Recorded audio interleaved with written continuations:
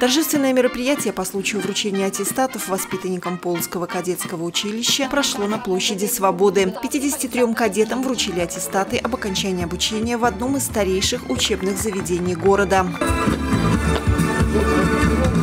С поздравлением к кадетам обратился директор училища Станислав Красовский, который напутствовал выпускников, отметив, что кадетское училище по праву считается центром патриотизма. Патриотизм здесь ставится на первое место. И мы его следуем этому, этому направлению в наибольшей степени. То есть уделяем наибольшее внимание патриотическому воспитанию. Ну и плюс к этому, конечно, знания.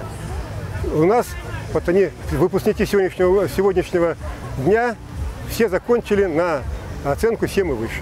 На торжественном мероприятии присутствовали представители силовых структур республики, Госпогранкомитета, МВД, МЧС, таможни. Они пришли поздравить будущее новое пополнение в их рядах. Ведь именно в высших учебных заведениях национальной безопасности будут обучаться по окончанию училища выпускники кадетского. Полские кадеты принимали участие в московских кремлевских балах, президентском балу, городских мероприятиях. Это 89-й выпуск кадетов со дня основания Полского кадетского корпуса. В завершении кадеты простились со знаменем и прошли торжественным маршем по площади Свободы.